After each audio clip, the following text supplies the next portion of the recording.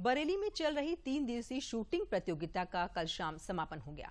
इस शूटिंग प्रतियोगिता में विभिन्न वर्गों के 150 खिलाड़ियों ने प्रतिभाग किया।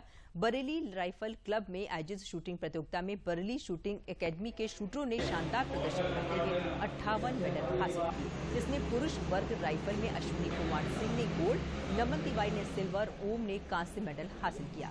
वहीं महिला वर्ग राइफल में हिबा खान गोल्ड, अनामिका चौधरी सिल्वर, अदिति सिंह ने कांस्य मेडल हासिल किया।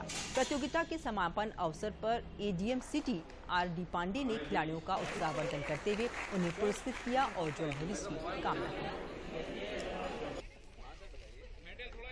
मैं टेन मीटर एयर पे शूटिंग करता हूँ और मैं state level pre national national सारे क्वालिफाई करके इंडियन टीम ट्रायल दे रहा हूँ और ये आयोजित किया गया था सत्रह तारीख से। इसमें मैंने भाग लिया और इसमें भाग लेने के बाद जब रिजल्ट्स आए तो उसमें मैंने देखा मैं गोल्ड मेडल मुझे हुआ है।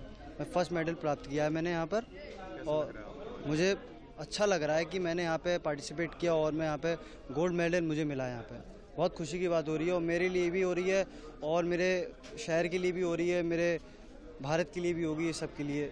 खुशी हो रही है। इसमें जो है विभिन्न वर्गों के द्वारा जो प्रतियोगिता में भाग लिया गया और जो महिला पुरुष दोनों खिलाड़ियों ने जो है अलग अलग जो है वर्ग में अलग अलग जो है रेंज में भाग लिया और पिस्टल शूटिंग से लेकर के राइफल शूटिंग का भी आयोजन हुआ और सब में जो है फ़र्स्ट सेकंड थर्ड जितने भी लोग प्राप्त किए, आज पुरस्कार वितरण का समारोह था।